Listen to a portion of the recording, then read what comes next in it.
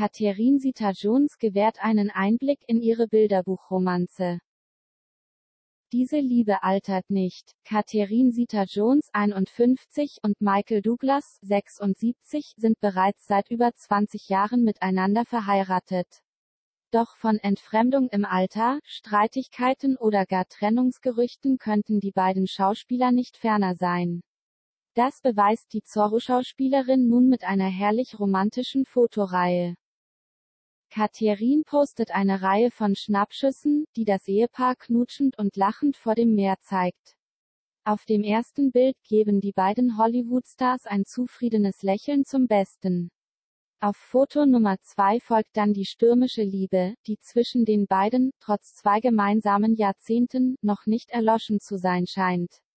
Das bedeutet allerdings nicht, dass sich die Eheleute nicht manchmal auf den Geist gehen, wie Sie im Video erfahren. Nach dem Knutschfoto gibt's dann das breite Lachen der Ehepartner zu bestaunen. Dazu kommentiert die gebürtige Waliserin passend, wenn gute Menschen schlechte Selfies machen, na ja vielleicht.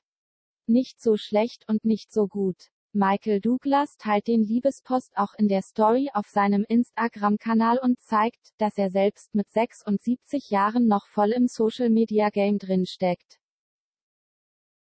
Die Fans sind aus dem Häuschen. Die Fans lieben den Anblick der beiden Turteltauben und strömen gleich in die Kommentarspalte, um ihre Begeisterung zum Ausdruck zu bringen. Das ist wunderschön. Ihr seid ein unglaubliches Paar, schreibt ein Fan, während ein anderer kommentiert, es ist menschlich unmöglich, dass Michael Douglas und Catherine Zeta-Jones jemals ein schlechtes Selfie-Bild machen. Zwei Kinder krönen das Familienglück.